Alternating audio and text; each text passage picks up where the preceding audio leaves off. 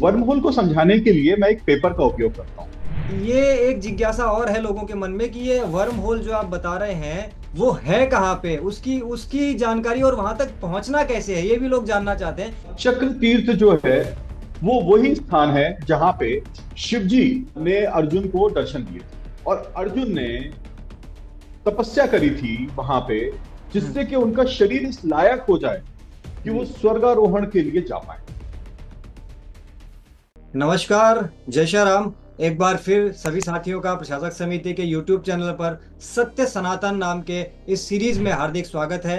और आज की सीरीज़ कुछ स्पेशल है, क्योंकि पिछला जो एपिसोड आपने गंगा मैया के ऊपर देखा होगा उसी पर कुछ लोगों के प्रश्न आए। लोगों ने कुछ जानकारियाँ जानने की का प्रयास किया। हम उसी जानकारियों को आप तक प्रदीप जी के माध्यम से पहुँचाने का प्रयास करेंगे। बहुत ही इंटरेस्टिंग होने वाला है ये ये सीरीज़ इसलिए आप सभी बहुत ध्यान से देखें समझने का प्रयास करें और उसके बाद जैसे कि आपको अच्छा लगे तो शेयर भी कीजिएगा। प्रदीप जी जय श्री राम। जय श्री राम मनीष जी। प्रदीप जी आ, पिछला जो एपिसोड हमने किया था उसमें गंगा मैया के ऊपर जो आपने बातें बताई वो इतनी इंटरेस्टिंग थी कि लोगों के प्रश्न आ रहे हैं। वो, यानी जो आपने वर्म होल और कई सारी चीज़ें बताई, वो लोगों ने पहले कभी शायद सुना ही नहीं होगा। और अब उनके मन में ये जिज्ञासा आ रही है कि हम और इसके बारे में विस्तार से जाने। तो मैं आपसे दो तीन प्रश्न पूछूँगा जो मैंने ये सारे प्रश्नों में से छाट के निकाले हैं। तो पहला प्रश्न तो मेरा यही है कि जो वर्म होल आपने बताया, जो वर्म होल आपने बताया, उसकी विस्तार से थोड़ी सी जानकारी दीजिए ताकि लोगों को ये वर्म होल का कॉन्सेप्ट क्लियर हो सके। वर्म होल जो लोग साइंस में इंटरेस्ट रखते हैं या साइंस से जुड़े हुए हैं वो लोग अच्छी तरीके से समझते हैं। वर्म होल को समझाने के लिए मैं एक पेपर का उपयोग करता हूँ। देखिए पूरा का पूरा जो ब्रह्मांड है हम्म। उसमें बहुत सारी लंबी लंबी दूरियाँ हैं। अगर मान लीजिए हमको कोई एक दूरी तय करनी है जो कि इस पॉइंट से लेके इस पॉइंट तक। इस पॉइंट से लेके इस पॉइंट तक 1000 लाइट ईयर्स की है। जी। ठीक है? अभी फ़िलहाल हम लोग लाइट की स्पीड से नहीं चल पा रहे हैं। हम्म, हम्म। हम लोग साउंड की स्पीड से पाँच गुना साउंड की स्पीड से छह गुना लाइट की स्पीड से चलना अभी संभव नहीं हुआ है। हमारे पास इतनी टेक्नोलॉजी नहीं है। लेकिन हम ये मान लेते हैं कि हम ये ये दो पॉइंट दिखाई पड़ रहे हैं आपको। हम्म। ये पॉइंट मैंने एक यहाँ पे ड्रॉ किया है एक पॉइंट यहाँ पे ड्रॉ किया। है ना? तो अब इन पॉइंट से इन पॉइंट पर जाने में वन थाउज़ेंड लाइट ईयर्स का समय लगता है। हम्म। अब वन थाउज़ेंड लाइट ईयर्स मतलब लाइट की स्पीड से भी जाएँगे हम जो कि एक हाईएस्ट स्पीड पॉसिबल है। एक हाइपोथेटिकल स्पीड है कि हम ऐसी कोशिश कर रहे हैं कि कभी हम भविष्य में सौ दो सौ साल बाद ऐसी टेक्नोलॉजी बना पाए कि हम इस स्पीड पे जा पाए। जी। अगर हम ऐसा कर भी पाए तो भी हमको एक हज़ार साल लगेगा यहाँ पे। अब एक हज़ार साल इंसान की उम्र कितनी है? हद से हद सत्तर अस्सी साल की। अस्सी साल जी। तो इस पॉइंट से इस पॉइंट तक ब्रह्मांड के अंदर जाने में हम्म। मतलब हमारे सबसे करीबी सोलर सिस्टम तक भी अगर हम जाते हैं तो भी क्या है? 500-600 साल के आसपास का समय लगेगा। और 500-600 हम्म। साल मतलब कितनी सारी पीढ़ियाँ बीत जाएँगी। अब इसके ऊपर एक टेक्नोलॉजी पे वर्क हो रहा है जिसमें जिसके बारे में हमारे वैदिक सिद्धांत में भी लिखा हुआ है। जी। वैदिक सिद्धांतों में भी इसके विषय में वर्णन है। हम्म। उस थ्योरी को वर्महोल बोला जाता है मॉडर्न साइंस के द्वारा। वर्महोल किसको बोलते हैं? हम इस पॉइंट से इस पॉइंट की दूरी जो है हम्म। इसको तय करने के लिए जो समय लगा रहे हैं वो तो बराबर रहेगा। लेकिन हम अगर हम इस पॉइंट को ही पास लेके आ जाए इस पॉइंट को ही पास लेके आ जाए तो और यहाँ से हमने एक छेद बना दिया। तो ये दूरी कितना तुरंत ही पार हो गई? तुरंत। मतलब इन दोनों दूरियों को हमने पास कर लिया। यानी ब्रह्मांड जो है पूरा का पूरा ब्लैक मैटर का बना हुआ है। डार्क मैटर जिसको बोलते हैं उसका बना हुआ है। डार्क हम्म, मैटर हम्म। को गॉड पार्टिकल भी बोला जा रहा है आजकल। हम्म। हम सब लोग बोलते हैं काली माता जो है वो पूरे ब्रह्मांड जो है उन्हीं में ही समाहित है। वो डार्क मैटर आ गया। ठीक है, हम्म। तो ये जो डार्क मैटर है ये अल्टीमेटली देखा जाए तो बहुत ही माइन्यूट पार्टिकल्स का बना हुआ है। छोटे छोटे पार्टिकल्स का बना हुआ है। पहले ऐसा माना जाता था कि ब्रह्मांड वैक्यूम खाली है। कुछ भी नहीं है इसके अंदर। हम्म। लेकिन अब ये समझ में आया कि कोई भी ब्रह्मांड का हिस्सा खाली नहीं है। हर हिस्से में कुछ ना कुछ जो है वो है। और जहाँ पे कुछ भी नहीं है जिसको हम लोग वैक्यूम मान रहे हैं वहाँ के अंदर जो है गॉड पार्टिकल जिसको बोला जाता है वहाँ पे वो मौजूद है। यानी डार्क मैटर जो है वो मौजूद है वहाँ पे। और वो डार्क मैटर ही पूरी ब्रह्मांड की संरचना के लिए कहीं ना कहीं उसकी कनेक्शन है उसका। अब ये डार्क मैटर जो है पार्टिकल्स का बना हुआ है। और इन पार्टिकल्स को अगर हम कुछ ऐसी व्यवस्था करके इसको पास ला पाए हम्म। इन पार्टिकल्स को हम्म। तो दूरी बराबर है लेकिन थोड़ा सा हिस्सा जो है ब्रह्मांड का वो सुकड़ गया। हम्म। और जो हिस्सा सुकड़ गया उसको ही वर्मोल बोला जाता है। बहुत सारे ऐसे साइंटिफिक एक्सपेरिमेंट्स हुए हैं और बहुत सारे ऑटोमेटिक चीज़ें हुई हैं ब्रह्मांड के अंदर। कई सारे ऐसे आपने सुना होगा कि जो एयरक्राफ्ट गया और एयरक्राफ्ट जाने के बाद में बरमुडा ट्राइंगल के बारे में आता है। हाँ। वो किसी ऐसी स्थान पे एंटर कर गया गलती से जहाँ से वो अचानक से बहुत दूर पहुँच गया। हम ऐसा बोलते हैं कि पूरे ब्रह्मांड का जो निर्माण हुआ है वो ओमकार से हुआ है। जी। ओमकार के तीन हिस्सों में डिवाइड किया जा सकता है। ओ उमा ब्रह्मा विष्णु महेश ये तीन जो साउंड हैं इनसे ही पूरे ब्रह्मांड का निर्माण हुआ है। आज क्वांटम थ्योरी यही बोल रही है कि जितने भी पार्टिकल हैं उन सारे पार्टिकल्स के अंदर कहीं ना कहीं वेवलेंथ और जो वाइब्रेशंस हैं, वो समाहित हैं और उन्हीं वाइब्रेशन से ही वो पार्टिकल्स बने हुए हैं। पार्टिकल्स जो है, वो हमको दिख रहे हैं पार्टिकल्स लेकिन वो पार्टिकल्स है नहीं है। वो अल्टीमेटली देखा जाए तो एक जगह के ऊपर वाइब्रेशन जो है, वो घूम रही है और वो हमको पार्टिकल जैसा प्रतीत होता है। और उन्हीं पार्टिकल से हमारा निर्माण हुआ है। उसी पार्टिकल से पूरा ब्रह्मांड का निर्माण हुआ इन जो साउंड्स हैं, ओ, उ उसी को हमने ब्रह्मा, विष्णु और महेश महेश। तो हमारी जो थ्योरीज हैं, वैदिक थ्योरीज हैं, आज के समय में सत्य हो रही हैं। और यही जो हम लोग गंगा के उद्गम की बात कर रहे थे, और जो हम बात कर रहे थे तो गंगा ग्लेशियर का जो सेंटर है, उसकी बात कर रहे थे। तो गंगा ग्लेशियर के सेंटर में एक ऐसा वर्महोल मौजूद है, जिसका कई बार उपयोग हुआ, एक बार नहीं उपयोग हुआ, कई बार उपयोग हुआ। और कई बार उपयोग होने के बाद कई सारे लोग गए। आपको कुछ उदाहरण देता हूँ मैं। हम लोगों ने सबसे पहले बात करी थी युधिष्ठिर के बारे में।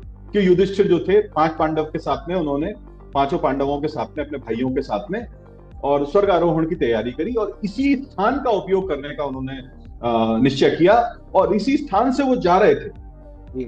स्वर्गारोहण की यात्रा कर रहे थे। लेकिन बाकी सारे जो जितने भी भाई थे उनकी रास्ते में मृत्यु हो गई और मृत्यु होने के कारण वो नहीं पहुँच पाए और युधिष्ठिर अकेले जो थे वो उसी स्थान पे पहुँच के उसके बाद में उन्होंने सशरीर जो है स्वर्गारोहण किया। है ना उससे पहले का इस स्थान का उपयोग हुआ गंगा के उद्गम के बाद में। हम्म। इसका कई बार उपयोग हुआ। उपयोग किया गया रावण के द्वारा। रावण ने भी इस स्थान से स्वर्ग में जाने का स्वर्ग आरोहण का प्रयास किया।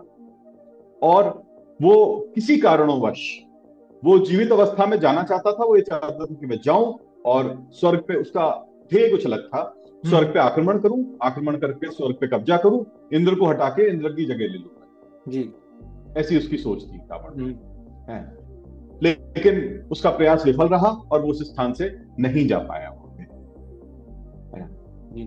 उसके बाद में इसी स्थान से अर्जुन जो है महाभारत काल में हम्म। यानी युधिष्ठिर से पहले अर्जुन जो है इसी स्थान से गए हैं और इसके प्रमाण मिलते हैं। अब आगे हम जो चर्चा करेंगे इसके प्रमाण मिलते हैं। अर्जुन के बारे में आपको पता होगा कि जिस समय पे अर्जुन युद्ध के लिए तैयारी कर रहे थे उस समय पे वो स्वर्ग गए थे वहाँ हाँ। से अस्त्र प्राप्त करने को जी। है ना?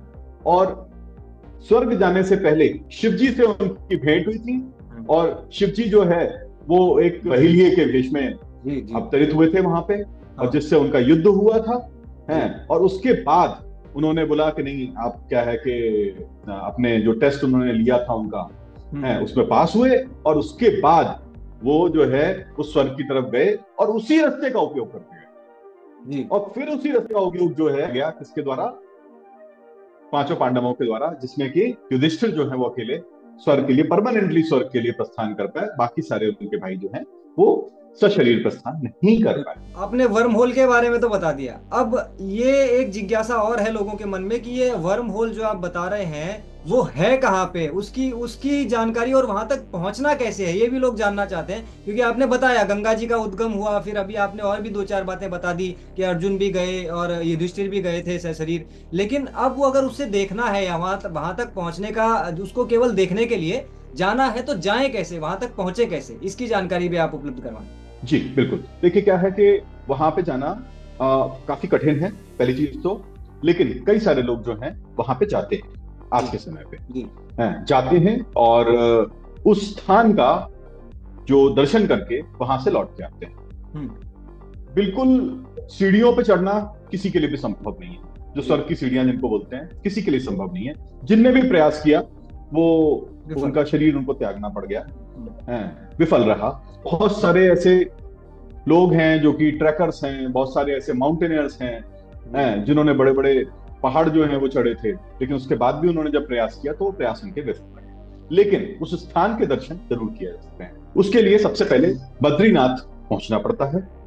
बद्रीनाथ से ट्रैकिंग करनी पड़ती है और कुल मिला के सात दिन की ट्रैकिंग है। सात दिन का समय लगता है वहाँ पहुँचने के लिए।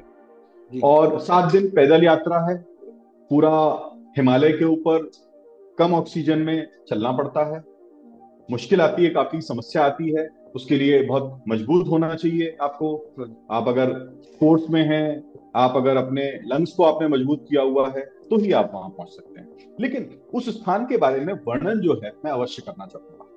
उस वहाँ पे जाना अपने आप में एक ऐसा दृश्य देखने को मिलता है इस प्रकार की शक्तियाँ देखने को मिलती हैं लोगों को कि हर व्यक्ति को प्रयास करना चाहिए कि जब तक वो स्वस्थ है हम्म। क्योंकि ज़्यादातर लोग जो हैं वो कोशिश करते हैं कि हम तीर्थ जो है वो हमारी जब उम्र हो जाएगी उस समय पे करेंगे जब तक आपका युवावस्था है, है या प्रौढ़ावस्था है उस पीरियड हम्म। में जब तक आप स्वस्थ हैं तब तक ही आप उसको करके आते हैं क्योंकि वृद्धावस्था में वहाँ पे जाना संभव नहीं है क्योंकि अगर मान लो आपको कोई बीमारी लग गई है हम्म। और फिर आपके मसल्स जो है उतना काम नहीं कर रहे हैं क्योंकि इतनी चढ़ाई नहीं चढ़ पा रहे हैं आप तो संभव नहीं हो पाता है। तो इसके लिए बद्री विशाल से सबसे पहले जो एक चमतौली बुग्याल की तरफ़ रास्ता जाता है है ना? चमतौली बुग्याल पहुँचना पड़ता है। चमतौली बुग्याल में वहाँ पे रुकते हैं, वहाँ पे क्या है कि कैंप लगाते हैं लोग, जो टेंट होते हैं वो लगाते हैं और टेंट में बहुत ही ठंड होती है माइनस थ्री से माइनस फाइव तक टेम्परेचर होता है वहाँ पे चमतौली बुग्याल में। और वहाँ पे माइनस थ्री से माइनस फाइव के टेम्परेचर में बर्फ़ गिरती रहती है हमेशा और वहाँ पे क्या है टेंट लगा के और वो भी सिर्फ़ गर्मियों में जाया जा सकता है। दो ही पॉइंट रहते हैं, दो ही समय रहते हैं जिस समय पे इस जगह पे जाना संभव होता है। एक होता है सितंबर में, जब मानसून खत्म हो जाता है। मानसून के ठीक खत्म होने के बाद और हम्म। दूसरा होता है जून जुलाई के साथ। जी। तो बस यही आप तीन महीने मान सकते हैं जिस समय जा सकते हैं। सितंबर पूरा करीब करीब अक्टूबर से फिर बर्फ़ पड़ने लग जाती है बहुत ज़्यादा टेम्परेचर बहुत ही कम हो जाता है माइनस टेन डिग्री तक पहुँच जाता है तो फिर उसके आगे जाना संभव नहीं हो पाता है इसलिए। और जून जुलाई का समय गर्मियों का रहता है उस समय भी वहाँ पे जाया जा सकता है। उसके बाद में जो चमतौली बुग्याल है उसके बाद में अगला स्टॉप जो आता है वो आता है लक्ष्मी वन। अगर हम देखें तो करीब करीब चार हज़ार मीटर के ऊपर लक्ष्मी वन है। चार हज़ार मीटर के ऊपर कोई भी अगर आप पहाड़ को देखेंगे तो पहाड़ एकदम बैरन होता है। उसके ऊपर बर्फ़ होगी पत्थर होगा है, ग्रेबल्स होंगे लेकिन उसके ऊपर कोई भी वन वनस्पति जो है वो नहीं उग पाती है हम्म। इतनी ऊंचाई पे। लेकिन ये बड़े आश्चर्य की बात है कि चार हज़ार मीटर की ऊंचाई के ऊपर भी लक्ष्मी वन है, वहाँ पे भोजपत्र लगे हुए हैं। ये वही स्थान है जहाँ पे नकुल जो है, उन्होंने अपना शरीर त्यागा। इसके बाद में आगे जाते हैं तो शहस्त्र धारा के दर्शन होते हैं। शहस्त्र धारा करीब करीब 4500 मीटर के आसपास आता है। वहाँ पे फिर जैसे नाम है शहद धारा सौ रानी की जो है वो पूर्ति है और इसके बाद में चक्र तीर्थ इसके आगे अब चक्र तीर्थ जो है वो वही स्थान है जहाँ पे शिव जी ने अर्जुन को दर्शन दिए थे। और अर्जुन ने तपस्या करी थी वहाँ पे जिससे कि उनका शरीर इस लायक हो जाए कि वो स्वर्गारोहण के लिए जा पाए। और ऐसा बोला जाता है कि अर्जुन ने जो शरीर त्यागा था अर्जुन वहाँ पे अर्जुन समझ गए थे कि इसके आगे मैं नहीं जाऊँ तो अर्जुन वहाँ पे ध्यान में बैठे और ध्यान में बैठ के उन्होंने अपना शरीर त्याग दिया कि मैं जो है वो यहाँ से स्वर्ग की यात्रा करूँगा ज़रूर करूँगा। लेकिन स्वर्ग की यात्रा शरीर के साथ नहीं करूँगा अपनी आत्मा के साथ में करूँगा और इस शरीर को त्याग के मैं स्वर्ग की तरफ़ प्रस्थान करता हूँ। ऐसा उन्होंने स्वयं संकल्प लिया और वहाँ पे शरीर त्याग करके वो आगे बढ़े। अब ये चक्र तीर्थ जो है इसके हम आगे जाते हैं तो सतोपंथ सरोवर आता है। इसका नाम ही है सत ओपन सरोवर यानी सत्य का सरोवर। ऐसा सरोवर जहाँ पे सत्य स्वयं विद्यमान है। हम्म, हम्म। यानी सत्य जो है वहाँ पे स्थापित है। इस सरोवर की बहुत सारी ऐसी कथाएँ हैं कि वहाँ पे अगर आप जाएँगे तो आज भी आपको साधु संत वहाँ पे बहुत सारी गुफाएँ हैं। जी। वहाँ पे साधु संत जो हैं हज़ारों सालों से उन गुफाओं के अंदर तपस्या करते हुए आपको दिख भी सकते हैं। आप अगर ढूंढेंगे तो वो आपको हम्म। मिल भी सकते हैं। तो ये सतोपन सरोवर अपने आप में बहुत ही चमत्कारिक है। इस पे पहुँचना ही अगर कोई भी मनुष्य यहाँ पे जाता है हम्म। थोड़ी देर भी ध्यान में बैठता है। तो ऐसा बोलते हैं कि ध्यान में बैठने के बाद में स्वर्ग से उसका कनेक्शन जो है वहीं पे बन चुका होता है। उसके अंदर कुछ ऐसी शक्तियाँ जाती हैं जिसकी वजह से स्वर्ग से कनेक्शन उसका बन चुका होता है। इस स्थान पे इतना रामणिक स्थान है कि स्थान पे अवश्य हर व्यक्ति को जाना चाहिए। अब स्वर्ग इसके बाद में आता है चंद्रकुंड चंद्रकुंड और सूर्यकुंड। चंद्रकुंड की महिमा ऐसी है कि चंद्रकुंड में पूर्णमासी के दिन जल भरा होता है और अमावस्या वाले दिन बिल्कुल सूखा हो जाता है। यानी जैसे जैसे जैसे चंद्रमा जो है वो अपना रूप परिवर्तन करता है। अमावस्या से पूर्णमासी की तरफ़ जाता है वैसे वैसे उसमें जल बढ़ता जाता है। और। जैसे पूर्णमासी से अमावस्या की तरफ़ चंद्रमा आता है वैसे वैसे इसमें जल खाली होता चला जाता है। इसीलिए इसको चंद्रकुंड बोला जाता है। वहाँ पे सारी चीज़ें जितनी भी हैं वो इतनी अद्भुत हैं इतनी चमत्कारिक हैं कि साइंस भी नहीं समझ पा रही है कि हो कैसे रहा कोई इसके बारे में तर्क नहीं है किसी के भी। हम्म। कोई व्यक्ति नहीं मतलब साइंस बोल सकती है हो सकता है पानी आता हो चला जाता हो आता हो चला जाता हो।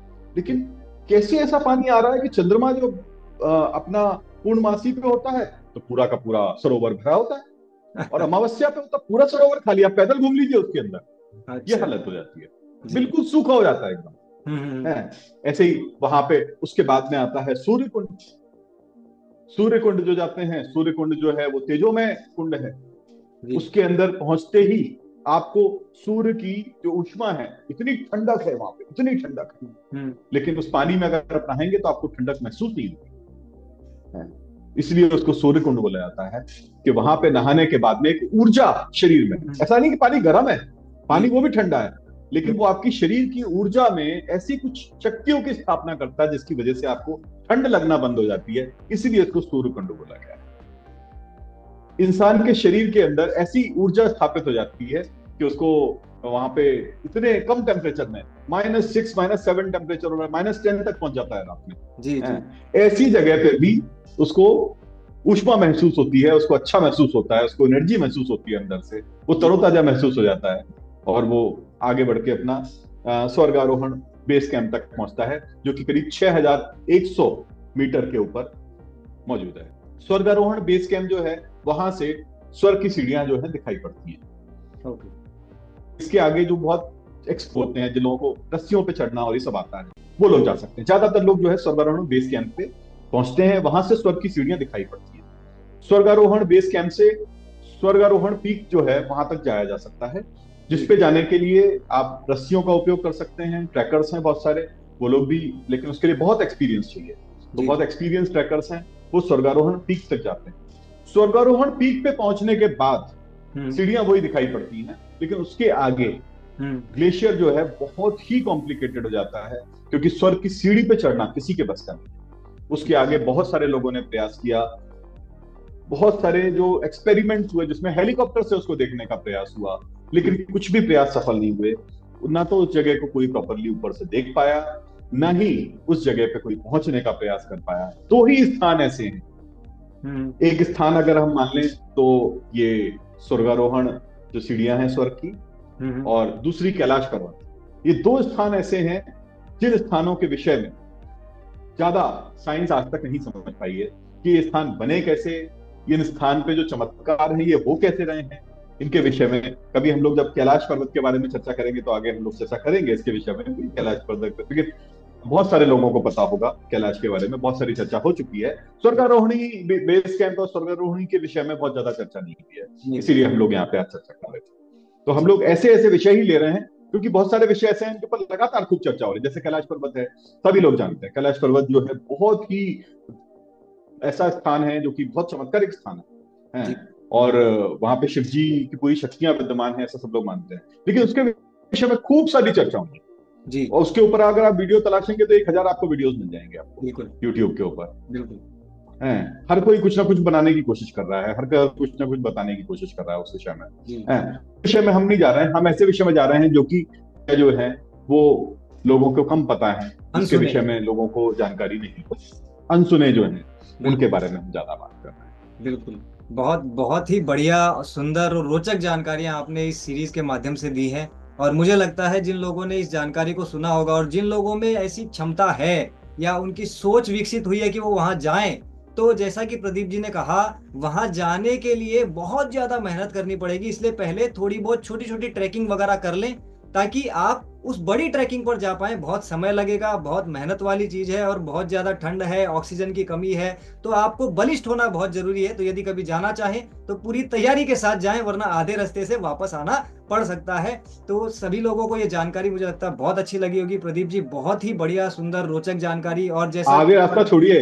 कई लोग तो ऐसे हैं बद्रीनाथ पहुँचने के बाद ही उनको इतनी ठंड लगती है कि वहाँ के बस दर्शन करने के बाद सीधे वापस बिल्कुल मतलब पहुँचने के बाद भी आगे नहीं जा पाते बद्रीनाथ तक जाना ही इतना मुश्किल है स्वर्ग की सीढ़ियों तक जाना कितना मुश्किल है और फिर स्वर्ग जाना कितना मुश्किल है। तो वो कल्पना के बाहर की चीज़ें हैं। स्वर्ग जाना तो कल्पना स्वर्ग जाना तो असंभव है। बट स्वर्ग की सीढ़ियों तक हम जा सकते हैं उनके दर्शन हम कर सकते हैं बट उसके लिए भी हमें बहुत ज़्यादा तपस्या जो कह रहे हैं ना वो तपस्या करनी पड़ेगी, अपने आप को उस उस हिसाब से बनाना पड़ेगा, फिर हम वहाँ जा सकेंगे। प्रदीप जी ने जो भी जानकारियाँ दी, बहुत अच्छी हैं। और अगर आप लोगों को ये जानकारियाँ अच्छी लगी तो और लोगों तक भी पहुँचाने का प्रयास करें, ताकि ये जानकारियाँ जो कि आपको बहुत ही मुश्किल से कहीं मिल पाएँगी, अनसुने तथ्य जो है सनातन के, वो हम आप तक पहुँचाने का प्रयास कर रहे हैं। तो वो आप हमारा सहयोग करके और लोगों तक पहुँचाने का प्रयास करें और इस सीरीज़ का जो हमारा ये प्रयास है, इसको सफल बनाए। सभी को जय श्याराम राम और अगली बार फिर एक नए विषय के साथ हम आपके सामने उपस्थित होंगे। जय श्याराम राम।